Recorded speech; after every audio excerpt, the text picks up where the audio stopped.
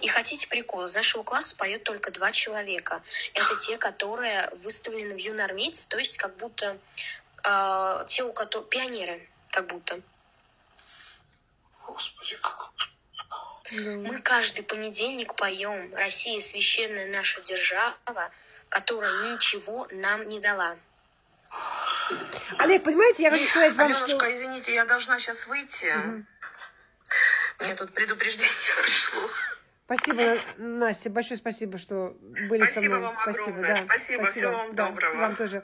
Олег, я, э, Артем, я хотела вам сказать, что вот ваш ругает эфир, на самом деле а, Борис Немцов, это был очень а, образованный, а, умный человек, который вытаскивал Россию из лжи. Политковская была потрясающая женщина, Анна Политковская, ее убили за то, что она говорила правду. Почему-то в России считается, если приходишь к врачу и говоришь, что у меня во рту нету кариеса, да, то когда ты получаешь, получаешь здоровые зубы. Это неправда, россияне. Ты когда приходишь к врачу, и тебе, и ты говоришь врачу, что мне, не- вы мне не нужны, ну, врач говорит, ну, не нужны, значит, и, ну, вон там дверь, да, вы идете, у вас зубы будут болеть дальше, а потом они будут гнить, а потом, ну, вы остаетесь без зубами. Для того, чтобы вас вылечить, вам нужно сказать правду. Олег ничего неправда не сказал. Он сказал, что течет, шко- э, как его, течет э, потолок, там стены, д- пол рушится, да, это те вещи, о которых надо говорить. Бл- Благодаря Олегу, возможно, в России начнутся стро... не, капитальные ремонты, когда собираются деньги, а потом они куда-то уходят, а наоборот, как вот Андрей сказал, все разбирается досконально до какого-то кирпича стены, и потом все заново отстраивается, понимаете? Как вы собираетесь отстраивать ваши дороги, когда вы все говорите, что у нас все хорошо? Москва будет шиковать дальше. Москва шиковала сто лет назад, 200 лет назад, 300, 400, 500. Так она и будет дальше сто лет назад, сто лет вперед, 200, 300 лет. У вас никогда для, для себя не останутся денег. Если вы Олегов, как вы говорите, записываете, будете уничтожать, то это пизда России, просто пизда. Не то, что Украина вас разбомбит, или там Америка, НАТО.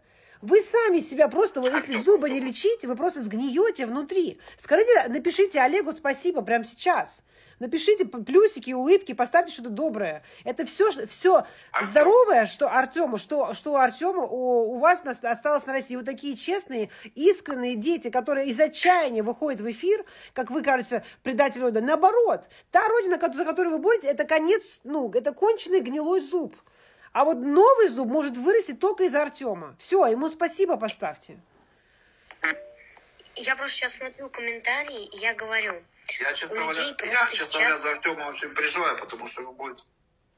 Нет, я, я на него Я за Артема переживаю, Да. потому что ему будет тяжело там жить.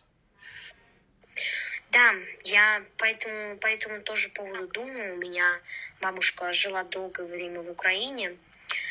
Э, Я за это тоже переживаю. Я переживаю не за то, за мою жизнь, я переживаю за то, что вообще будет. Потому что это очень страшно.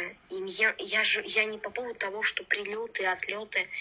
Мне страшно жить. Понимаете? Мне страшно жить то, что мы живем, как, вот извините меня, в средневековье. У нас нет ничего для детей. У нас нет. Нас нет. У нас просто... У нас собирают деньги на все. Деньги делают бешеные.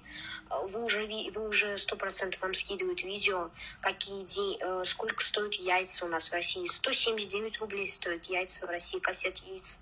Олег, меня тягают э, москвичи. Ой, посмотрите, яйца и такие, такие. Мы все покупаем яйца. Я не знаю, они что, не понимают, что яйца я, яйцам рознь? Зарплата запра- заплатил рознь, да? А Москва другому городу или пригороду или деревне рознь. Зачем они вты- втыкивают мне эту обложку, обложку, которая не является показателем обычного россиянина? Покажите мне жизнь обычного россиянина, покажите жизнь вот обычного магазина сельского, покажите Старая жизнь- хрущевка, старый магазин в вагончике. Вот у нас магазин. Старый вагончик. Там вот, вот вам бортики, там вот все. Потом говорите, у нас зараза новая, у нас вот ковид-19, у нас все. Конечно, у нас будет ковид, и у нас разве так, так может быть? Весь город, у нас нет... э, Кстати, там, проблема ковида есть сейчас у вас там? вы знаете, болел, я болел ковидом. Не, я имею два в виду, назад. э, это поднимается, потому что у нас сейчас про ковид вообще никто не говорит, у нас другие проблемы. А, а у вас это поднимается? Почему я спрашиваю? Потому что мы, когда началась война, мы все смеемся над проблемой ковида, потому что как-то он пропал куда-то. Нет, ковид... Может быть, он и есть, естественно, но у нас не, не поднимается это на таком уровне, что типа там...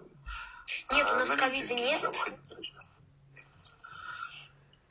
Я хочу просто искренне от всего сердца поблагодарить Алену. Я вообще общество не знаю. Ой, извиняюсь, отчество вашего не знаю. из-за того, что вы открываете людям глаза, тем детям, которые не могут высказаться родителям, потому что родители... Олег, вот сегодня заходила страны. ко мне Ира, вы видели, да, из Чуваши. Она вчера приходила два или три раза, она э, говорила какую-то ерунду. То есть она как бы был мой хейтер, так? Сегодня я запустила, а мы с ней спокойно поговорили.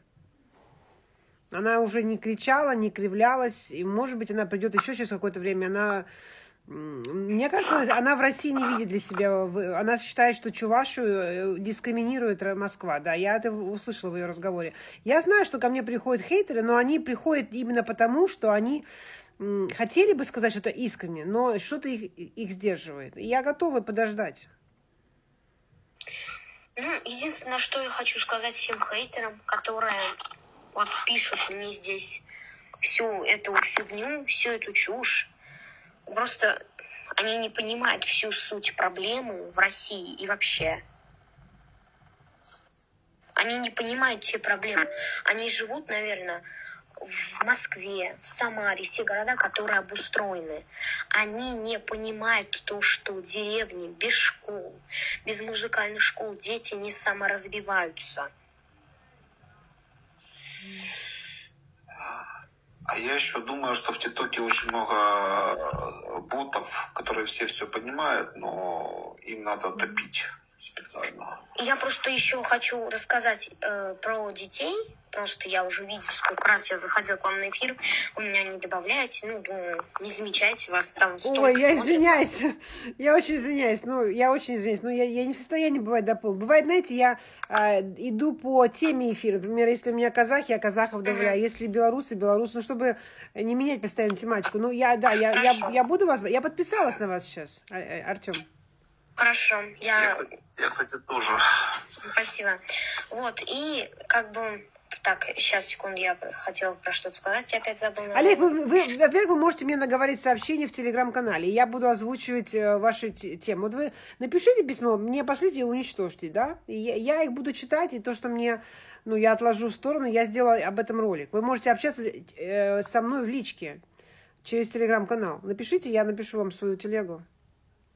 Вы можете, вы можете прислать я видео, уже... вы можете прислать какое-то видео чего-то. Я тоже буду заву... завуалированно показывать ваши видео, чтобы мне было понятно, из какого вы... А, я вам обязательно скину э, после каникул. У меня сейчас начались каникулы. Э, я вам обязательно скину видео, где мы стоим в понедельник и поем гимн России. Извините Давайте. меня. Нам говорят, приходи в школу вовремя, 8.15. Нам нужно идти быть в школе.